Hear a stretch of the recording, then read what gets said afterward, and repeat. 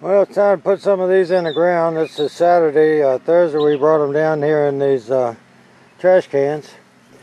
Uh, if you can look at them closely, you can see there's some of the leaves are just starting to wilt a little bit. They're laying over a little bit.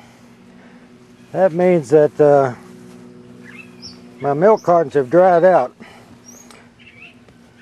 I think you can see down in there hopefully that the the soil on the top of those milk cartons is real dry. So they'll slide out and not come apart when I take them out. And they they sat in the sun down there for two days. And uh, now it's time to put them in the ground. I'm to plant these 4th of July's first.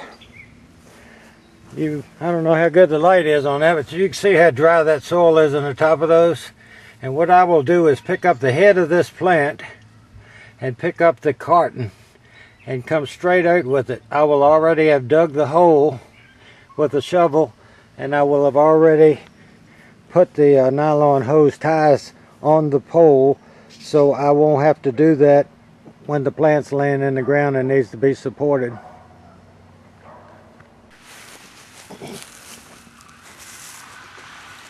Before you start digging your holes, the first thing you do is put your ties on the poles.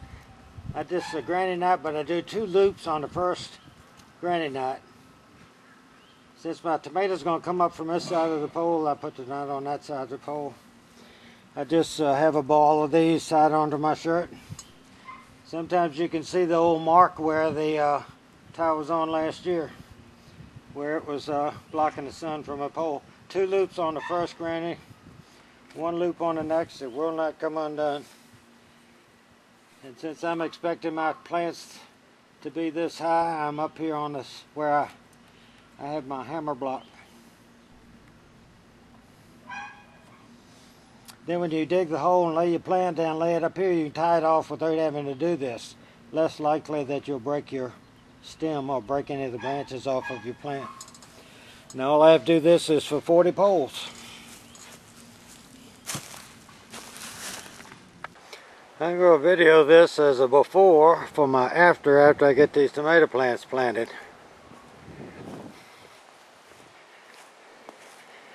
I just did 26 stakes. I have three ties on each stake. I try to have the little ends about even so when I tie it around the stem it just makes it easier. Depending on the height I have gone over the uh, hammer blocks. See, it's pretty sparse, right? No garden. No garden. These will be pepper stakes. Just want you to see what happens when just in a very little bit of time you have instant garden. The man up at corner one day, he was growing determinate plants and he hadn't done much with the soil. Like most people that work and his wife works, they don't have so much time to fool with this. Not like somebody like me that's retired.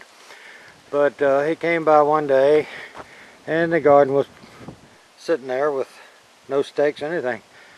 He came by the next Saturday, all the stakes were in, they had tomato plants two, three feet up the stakes. He stopped his golf cart, came over and said, I don't understand. I go, what do you mean? He said, well, last week you didn't have anything there. And I said, and? And he said, well, now you got, when did you plant those tomatoes? And I said, I planted them in March. And he had a quiz look on his face and I said, I planted them at my house in a greenhouse in March. I brought them down there during the week. They were about 40 inches tall and I put them in the ground telling them to skate. He just couldn't believe how this garden in one week could have tomatoes, you know, 36 inches or better out the ground. And June the 1st last year, I planted my tomatoes and they weren't any taller than those and I've got slides to prove it or digital photos. And on the 27th they were all the way up there where the hammer block is. 20, in 21 days that plant went from right there to there.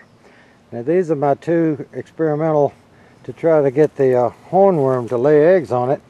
Unfortunately I should have put these in about two weeks earlier than I did and I would normally not put these into the end of May And here we have it the 19th and it's been pretty hot and it's going to be in the 60s at night next week so I'm going to put them in. But that won't give these two plants much time to collect all the hornworms. But at least you understand my theory. Now if I would wait two more weeks to plant my plants, it would work. But unfortunately, at the height of these plants, I can't wait two more weeks. They've been another foot and a half taller.